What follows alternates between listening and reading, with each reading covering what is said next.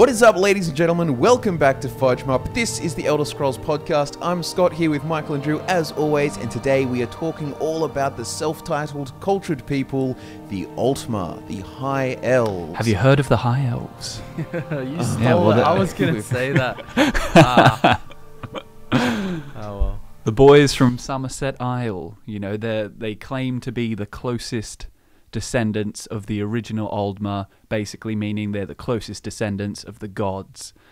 And uh, we're gonna see if they've got a leg to stand on when it comes to that. Hmm. I mean, in terms of their superiority, they kind of do have a leg to stand on in terms of just raw biology, at least. Like, if you're gonna pick a race to be in the Elder Scrolls universe, you can't go too wrong picking a race that can live for hundreds of years with, you know, magical prowess, um, and and and Actually, even as well.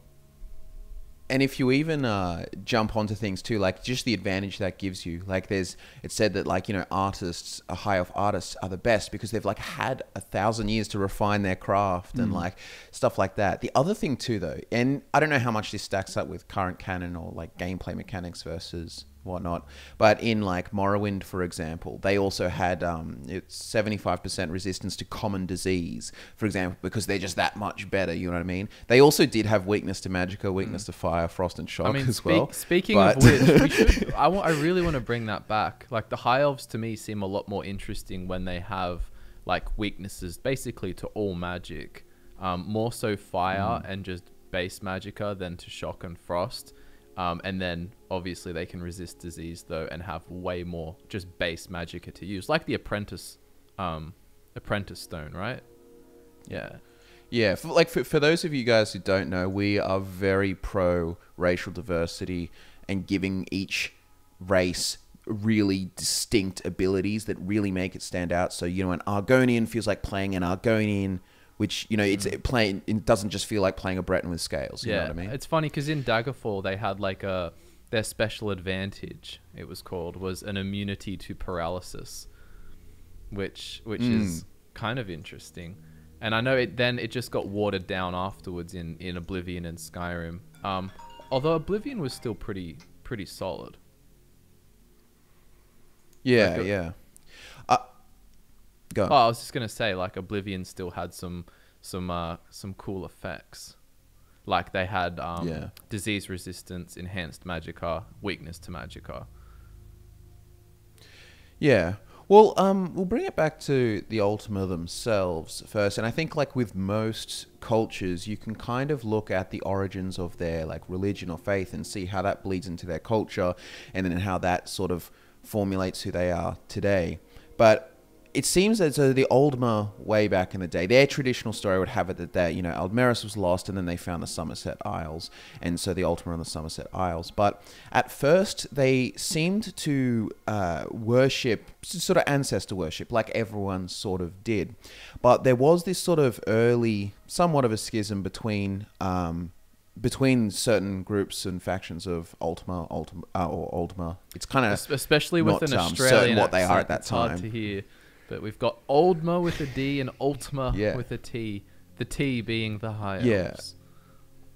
And um, basically, though, what happened was there was sort of it started to become a popular idea to start only revering the you know the socially better or more deserving ancestors, and this has ended ended up formulating what they revere as the Aedra, and you get sort of like you know that's why there's Phynaster and Xarxes and Auri-El, like these are these great ancestors that are revered, but no longer just your dad who was a farmer or whatnot, which is kind of a little bit different to sort of like the uh, old ways the Psijic Order have, which is some complex system of ancestor worship. And then you also have like later the Velothi who really, really like their sort of family ancestor worship. It's not just about like, oh, the greatest, the Aedra. And then obviously you throw in the Daedra stuff too, and the Velothi left and went to Resdayn. But um, you can sort of see how that kind of um, stratification of society into certain castes, and there's like these ancestors are worthy and these ancestors are not, how it sort of, of worship, um, sort of formulates their modern day sort of caste system where they have really strong social, you know, class divides. And between nobility and so it's on. like the essential distinction between elven and human in that when when they're talking about ancestor worship it's not very different from the way humans would just say worshipping the gods because you know it, to a high elf worshipping your ancestors as you're talking about with the Aedra it's just worshipping the gods you know but but as far as they're concerned they're trying to maintain whatever makes them as close to these ancestor gods as possible, as opposed to looking at them as something distinct from themselves. They're just an earlier, more powerful version of themselves. Yeah, well, that's like their like that's a general. Uh, heuristically, you can kind of say that you know men generally generally believe they're created by gods, whereas elves believe they're descended from gods. So and and the Altmer very strongly. It is so. a bit funny though, isn't it, that they just pick the most powerful ones and then they go, "These are our ancestors," but then kind of brush away all their other ancestors who would be less powerful and less interesting, but you know, just the hmm. same, their ancestors.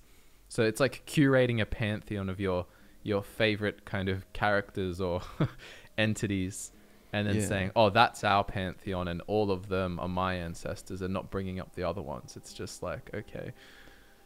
Mm. and their sort of uh, obsession with um, like kind of maintaining like you're just saying Drew the the purity of like the closest basically maintaining the uh, closeness to the gods or their ancestors in terms of both like cult like their sort of superior culture they're trying to maintain their culture but also in bloodlines which has led to uh, eugenic practices and stuff where they're very specific about like not you know, crossbreeding with lower castes and stuff like that to sort of maintain the purity of kings descended from gods and Where and so on. it's on. also it's like their willingness to to follow a god depends on that god's opinions on Auri-El's idea that um that they they were trapped in this mortal realm. So any god who kind of goes against that is then becomes kind of shunned by the high elves. So um think uh, Stendarr's a good example of that, right? He's the uh, the apologist to men, so long as I'm not mixing up my gods. But Yeah. anyone who's um,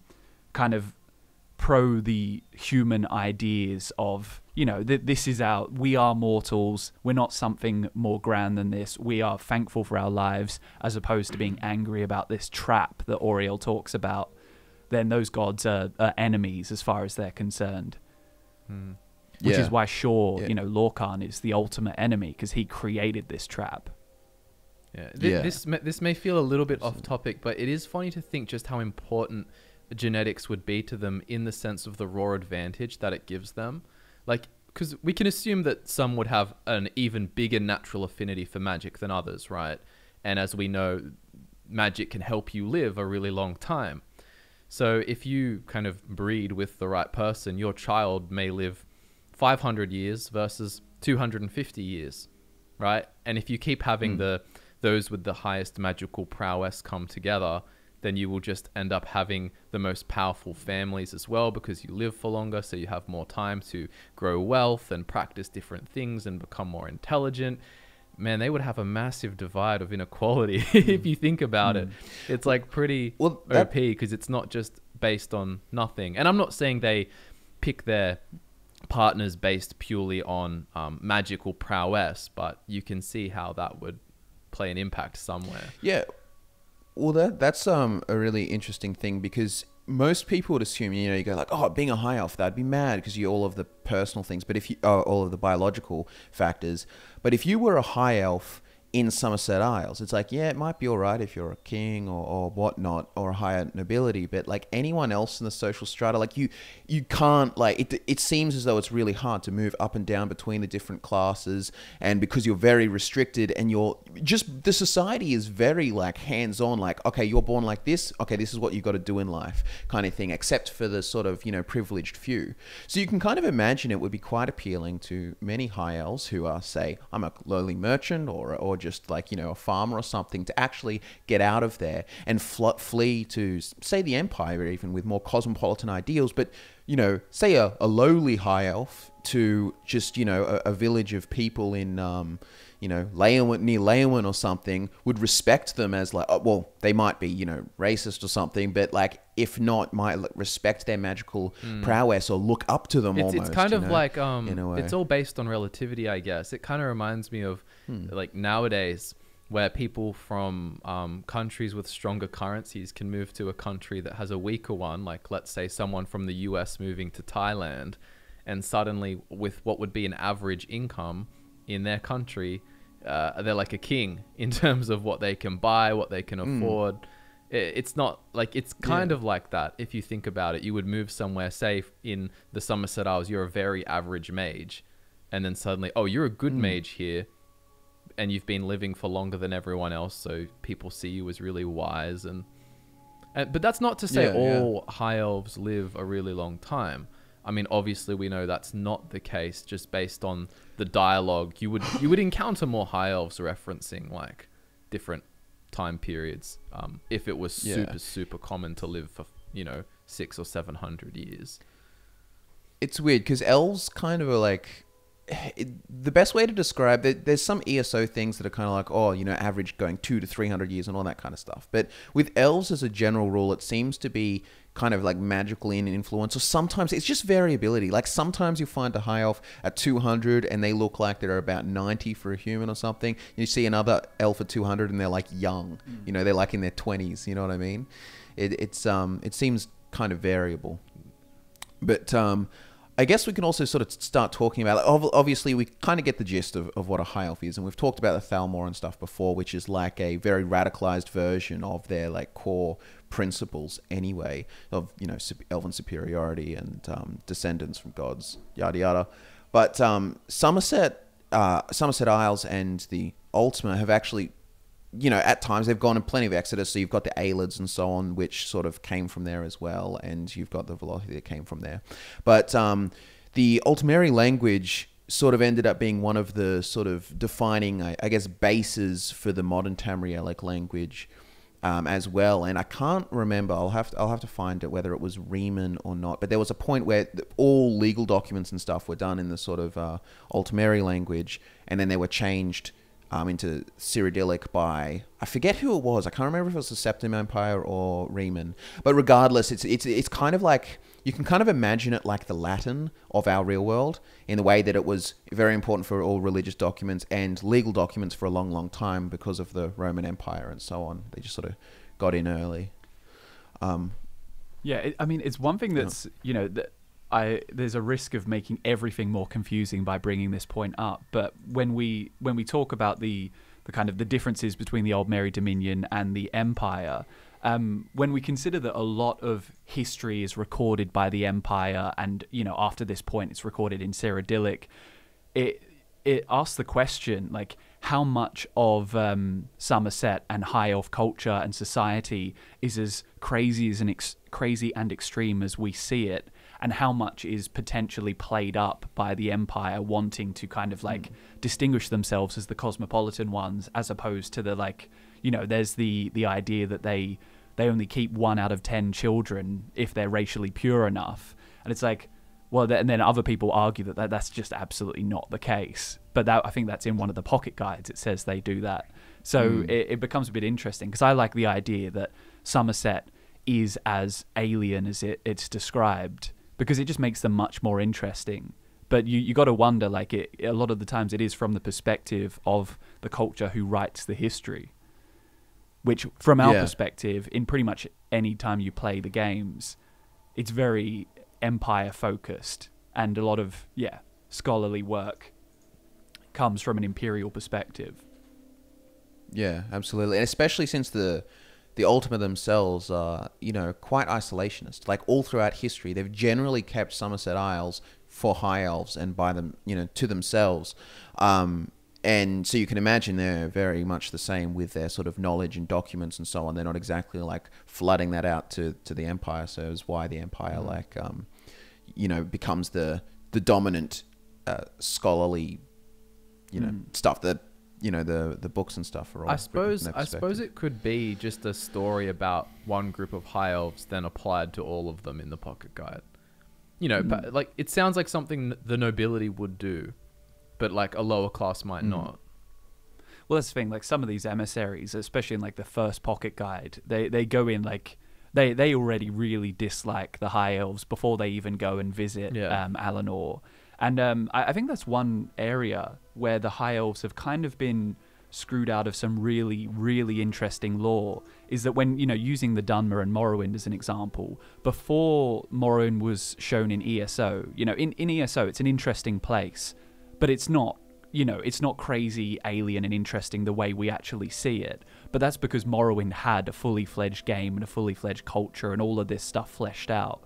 Whereas the High Elves didn't get that before their portrayal in, in ESO you know, which is one thing that kind of makes them much more basic, you know, the elves that you see in most fantasy um, worlds, as opposed to the kind of, you know, we- bring it up a lot because it's really interesting to imagine they're like the city of Alinor made from glass and insect wings with like hypnotic swirling ramparts and impossibly tall towers and all of that stuff. It's like to imagine a game that actually explores that would make the high elves as interesting potentially as the Dunmer.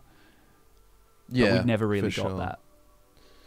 Yeah, I, it's it's funny. Like in terms of gameplay, it would be one of those really hard, just because of you know how they're all like isolationists and they don't like other races. But there's even this cool like little um excerpt. It's actually from the ESO interactive map of Tamriel, but it says um like this is just about some of the obscene like not obscene um but crazy kind of customs and stuff they have. But like as a guest, you will not be required to memorize. Uh, memorize every detail of proper behavior at a high elven dinner table, and surely won't be judged too harshly for minor misunderstandings.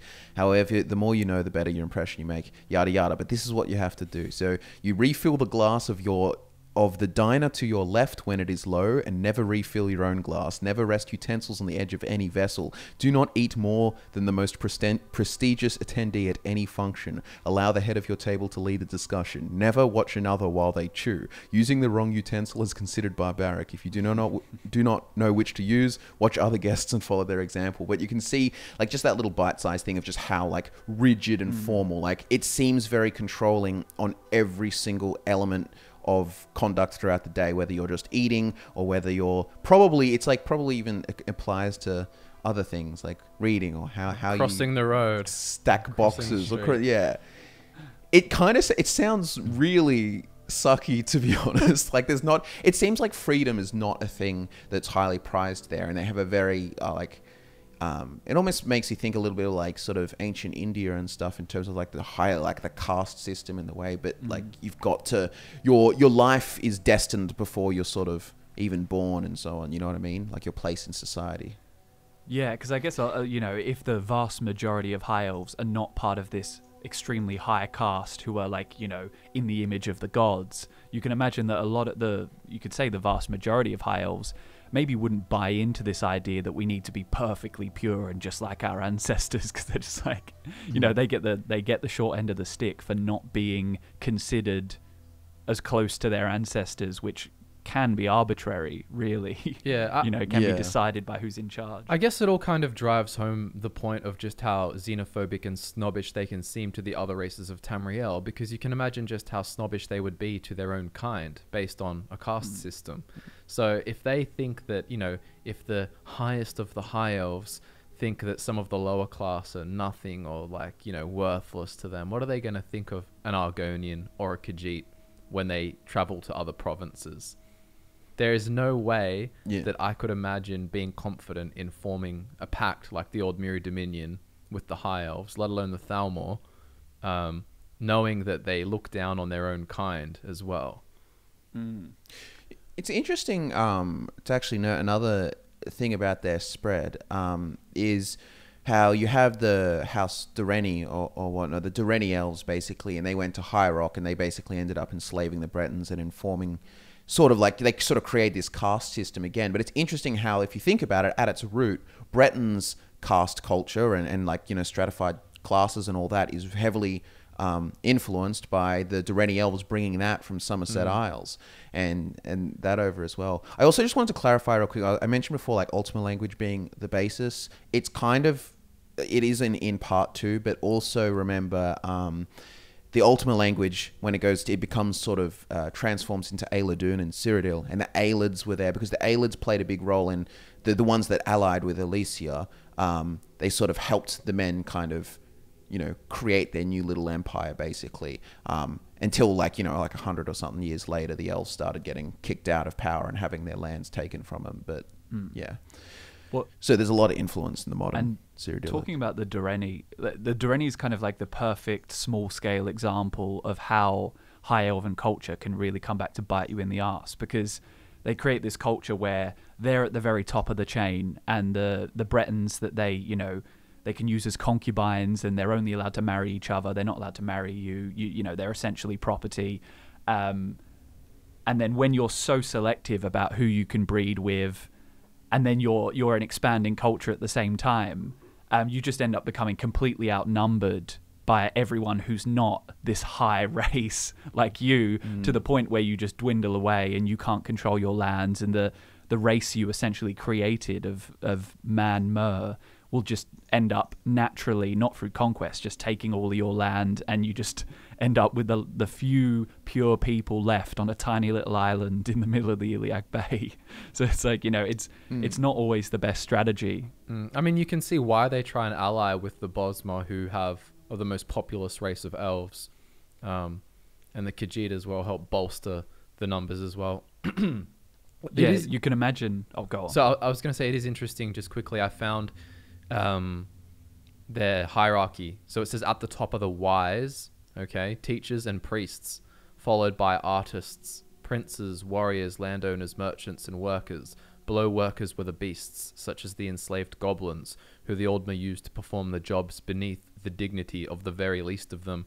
So it is interesting that um, education, but also art, seems to rank quite highly, like above, Mm, you know, yeah. merchants and other things. Yeah, w- it, I kind of see that for them, art and architecture are like really closely entwined because you know it's like when, when you know when we talked about the description of Alinor, um, it it sounds like not everything about their their architecture, at least as it's described, is entirely practical. It's almost like a display to the gods of how great they are and how, you know reaching towards the heavens, even though there's probably not much need to create everything from glass and you know things like that. It's it's Yeah. like it's an artistic endeavor just as much as it is um, practical. Interesting thing to point out there too about that caste system too, with enslaved beasts at the bottom. But often when people think slavery, they think of um, Dunmer, but slavery really is an elven practice, like in the way that you, you know, the Altmer did it, and they did it with the goblins and so on. You've got then they go to Cyrodiil, and then they enslave the humans there. Then they go off to Resdayn, and then they enslave the um, Argonians down south. Like Even the dwarves enslaved it- the, the snow elves, kind of creating the Falmer. Yeah, exactly. Yeah. Elves are, you know, they really, it's a common theme of them sort of that we're superior and we can enslave these other people. Like, it's a very, uh, it's an early elven ideal, I would say. Yeah, there's no doubt that the Aldmeri Dominion, you know, on the surface level, can seem like this, this pact, uh, this diverse pact of Khajiit, Bosmer, and High Elves.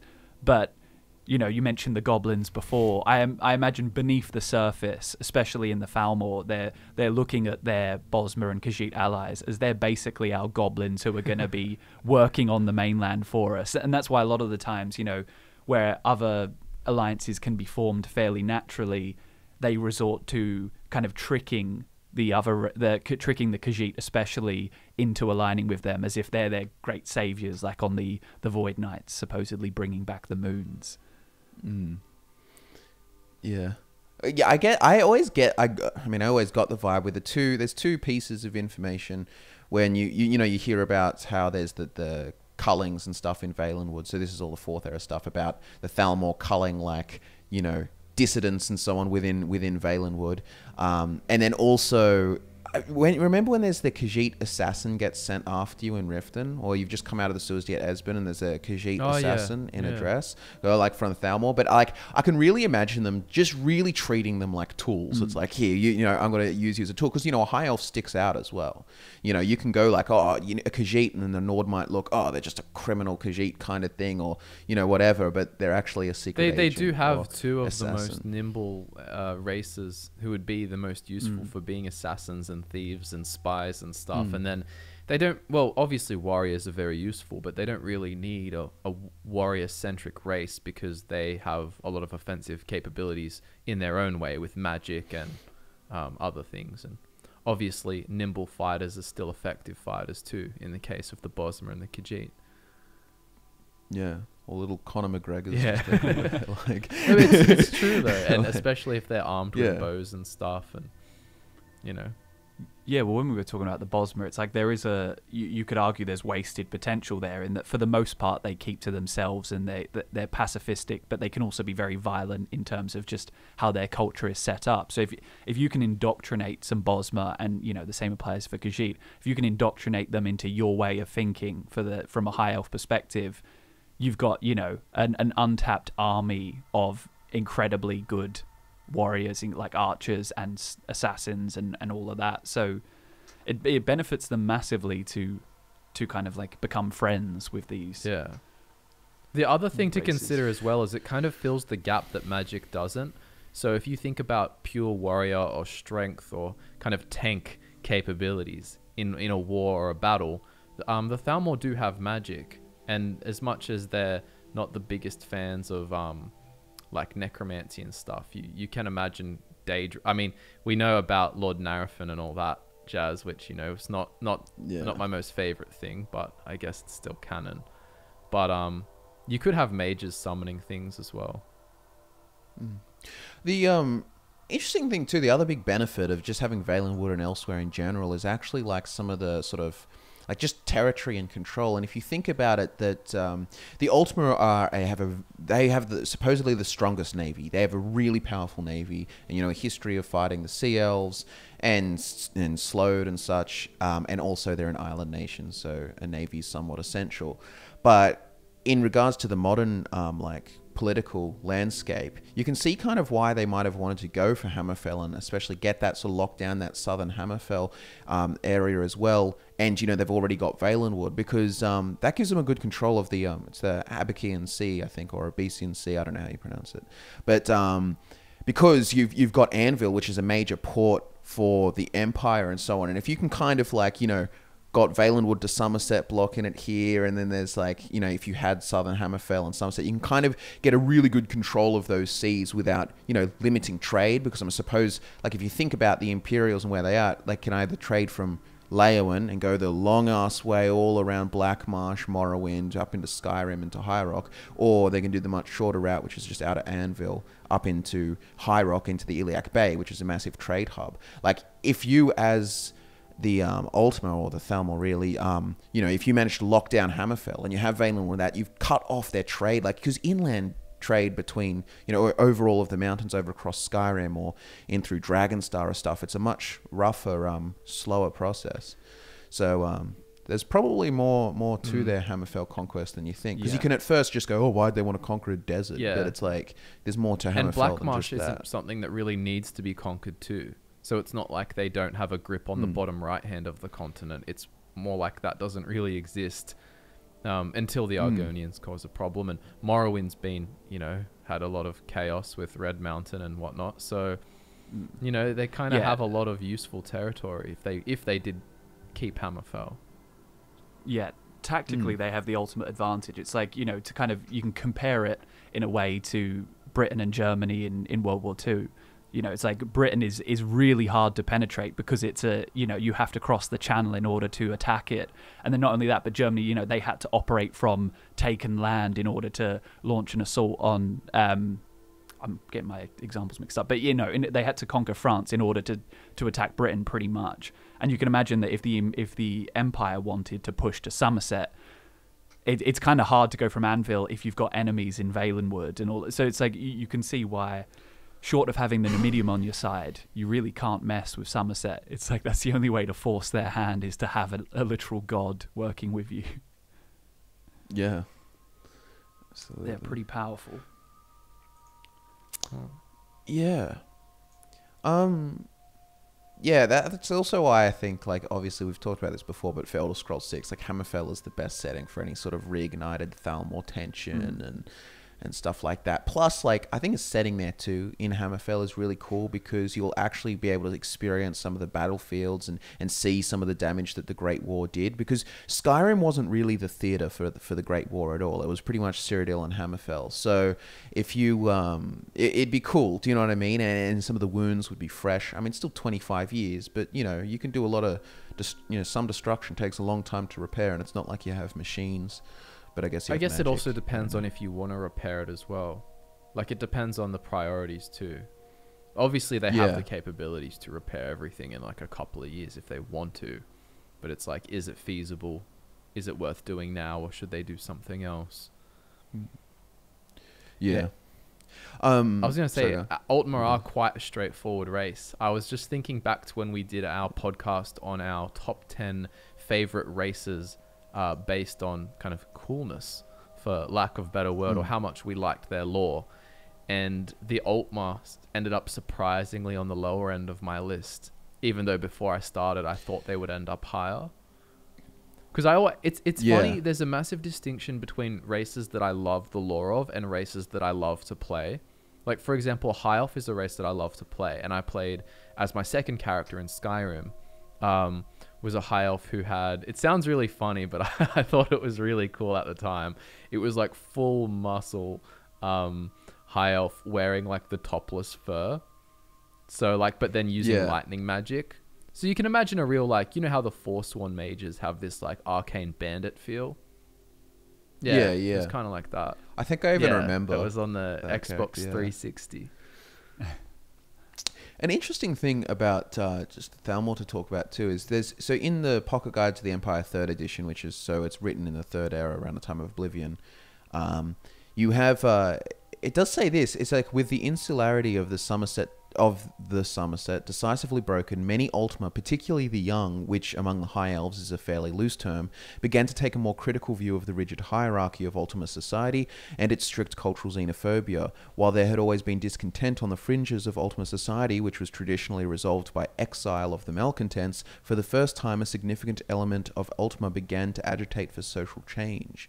Um, this nascent revolution of the Summerset Isle has taken many forms. Most constructive, surely, is the acceptance of new cultures and races onto its shores. Yada, yada, yada. It goes on for a bit, but um, it's interesting. So this would have been at the time, like you know, end of third era, early fourth era, that there was kind of this more like, yeah, let's move away from sort of, I guess, superiority and rigid hierarchy and so on. But that gets completely flipped on its head with the Thalmor up, uprising, and then when the Thalmor take control. Um, and I guess that also explains the the night of uh, is it Green Fires, where they tr- where you had some early dissidents trying to escape to Hammerfell from Mhm. this new regime starting off in Summerset Yeah, as well. But it's just interesting, like you know, you got to treat them as individuals. Like not even high elves, not all high elves, most certainly, um, do not benefit from, you know, the strict caste systems and of. Um, you, you might find as well, and I mean, you see it. Not every high elf you meet in Skyrim, for example, is particularly snobby. I mean, a lot of them are, but plenty of them aren't. You can imagine that it's kind of like the orcs, where you have the orcs in the stronghold, and then the ones that leave get called the city orcs, and they're kind of frowned upon, but they're not about that stronghold lifestyle, right? Whereas the Mm. high elves who leave as well, you can imagine, I just want to go be a merchant in High Rock, and that's it. And where they are, their job might not be respected, but you would find that a lot of the ones that stay are the ones that like it, um, and the ones that don't like it would leave, because it's quite easy yeah. to leave. It seems it's not like, especially as a high elf, like there's plenty of places and you have can options, Go. Yeah, yeah. that's what I'm saying.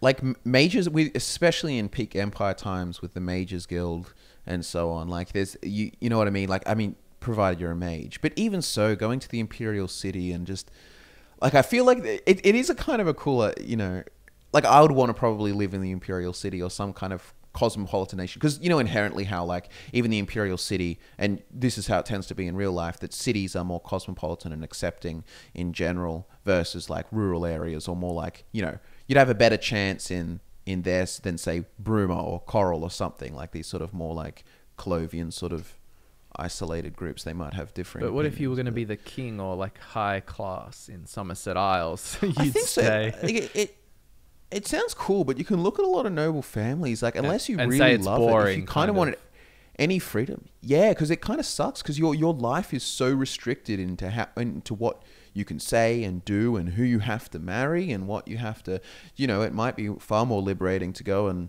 go to the imperial city marry someone you love and Yeah. do some you know what i mean whatever you like Well, yeah, because a lot of their their lives are built around trying to reclaim something that they really can't do. You know, like th- this Yeah. obsession with what they once were. Uh, they they're going to be constantly undermined and foiled by the the the reality that they're not like that anymore. You know, and I think uh, like building on what you said about how you thought they were going to be a, a more loved race, but then you kind of put them lower down the list. Is that well, one thing about um, the Altmer is that it's like you've got all of these really fascinating groups that diverge from them who are really interesting because they kind of came from that. Whereas the Altmer are just like the ones who stayed behind, who refused to change at all, which is is kind of what makes them, you could say, could potentially makes them a bit more boring than the other elves. But at the same time, Yeah. what makes them the most fa- fascinating is the, this idea that they just have no idea of their true origins. They're like, we can't even find our old homeland. It's like, it's a bit tragic, really, as much as they paint themselves as the very best. And like we've said many times, like high elves with some of their descriptions in the books and so on, with all the beautiful crystal towers, that they had the potential to be far more alien. But as we've seen them in ESO and and so on, they are pretty close to just sort of your classic Lord of the Rings type elf. So they kind of by default, it's like, oh, been there, done that. We've seen it in D and D and every iteration of fantasy felt for like the it last was 70, Shrek. 80 years. when I it, felt, it felt What? like something out of Shrek. Like you know, The city from the Oh. second film. something like that. Yeah, not the swamp. Such an obscure. No, but it did. It just made me think of back the Orcs episode where you're like, they're practically Yeah. Shrek. You know, Yeah, it's like- just seems like this. Shrek is love. Shrek is life. Um, you, yeah, there's an ancient meme for you. Here's here's an extra. You, you know that thing where I showed you, um, where there was like uh, th- those animated videos, and it's got like Shrek as kind of like a Shrek Geralt kind Oh of Witcher, yeah, and he's like so good. riding a hot dog. I, I just saw some meme, and it was like. And it was like, what the, oh, imagine what the internet will be in 30 years. and it's like Shrek riding a hot dog with a Witcher thing, and there's like Obama and all this kind of stuff. It's so, So spacey. uh, so absurdist. But yeah. Yeah, I can imagine as well being an Altmer too, when we were talking about being like in the high class and it being boring. In the Elder Scrolls universe, magic is real, and I just can't imagine that the pull to politics and wealth would be nearly as interesting. I know it's all relative, and when you get there, you Mm. might be like, uh, magic. But I'd much rather be sleeping in some bunk bed in a mage's guild, you know, eating basic food, and nobody knows who I am, but I'm learning to, I don't know, summon literal, like, demons, hmm. but monsters, or like, Yeah. you know, cast spells and turn invisible. That that sounds much more appealing to me. It's kind of like that thing of like getting superpowers would just make you not really care about some of the more mortal, boring trappings Mundane of life. things. Yeah. Yeah, I, I think Yeah. part of what makes the High Elves more fascinating for me is buying into these like massive conspiracy theories. You know, it's like, um, like for example, my I, I don't really play ESO, but the character I created, I created a High Elf, but I made his his skin as tan as possible because the idea is basically, oh, he's one of the Ayleids who escaped Alessia's rebellion, and it's, it's like you know they, Yeah. they it said that a lot of them travelled to towards Valenwood and Summerset to kind of mesh in with the foul like you know the early times of the Foulmore and and they're secretly just trying to get revenge against men. So it's, you know it's not just some expansion. It's like it's like no we want revenge for something that happened thousands of years ago. And it's like you know it's kind of like you almost have to to to really enjoy the high elves. You kind of just give them credit for everything that came from them which is like obviously so much. But you know the Direnni and the Ayleids being like fascinating examples of their expansion that didn't get too crazy following completely different cultures and gods. Makes me think too, actually, why some of the Ayleids. It's never mentioned really, but Ayleids, some of them could have got along with the Chimer and so on, and have converted to the sort of Velothi way of life. Mm. Um, in an Exodus as well. But um, yeah, I mean, maybe some 'cause you did. can- You, you'd never, you'd never know. Yeah, well, if they Never turn to know. Daedra worship, it's not going to be a big leap for them to follow the good Daedra. There's probably some shrines and temples to I guess those Daedra it- in Ayleid cities. I guess we don't have much information on the Ayleids, but like I still imagine that the Ayleids, because a lot of the, it seems a lot of the benefits of worshipping the Daedra wasn't oh I love you so much. It's more so all of the powers and stuff that they could achieve from them. So I would say that the Ayleids are probably still quite like Anuic in their beliefs in the way that Lorkhan like trapped them here kind of thing. So it would have been quite a. I guess that's why because of the shift, even going to um, uh, to the Dunmer, well, to the Chimer at the time, their belief about Lorkhan Mm. and, and and the purpose of Mundus is very different. So they're like fundamentals. are Yeah, different. it's like the Yeah, Daedra that was more like their hedonism and their fun, not their. Yeah, not and if their these- religion. Yeah. if these Daedric princes are encouraging them to enslave and torture humans as well, it's like that can totally align with the high, a high elven attitude, despite kind of yeah worshipping a Daedra. yeah, that is Yeah. True. Hmm. Yeah. Um I I think that's like I mean without mentioning every single little detail or little, you know, thing that they do do, but um do do. Mate, we're gonna get demonetized now. Watch out. Yeah. But um I think that's about it. Do you guys have anything else to mention on the Altmer? I, the, the Psijic are their own beast. Yes, you know exactly. So it's like Yeah. That was my thoughts almost not fair. entirely. Like Psijic Order gets a podcast kind of vibe. And I think if we kind of jump into the gods too much, you're kind of a lot of like discussing the elven gods. You kind of want to bring up the Nordic gods, and I feel like we'll probably have some kind of Dawn era episode at one that'd be point, that'd be good. and where we'll discuss the goings on. So it just helps separate Yeah. these things. No, so, I like that. yeah. All right. Well, Yeah. thank you, ladies and gentlemen, for tuning in to the Elder Scrolls podcast. We will see you next week. Adios.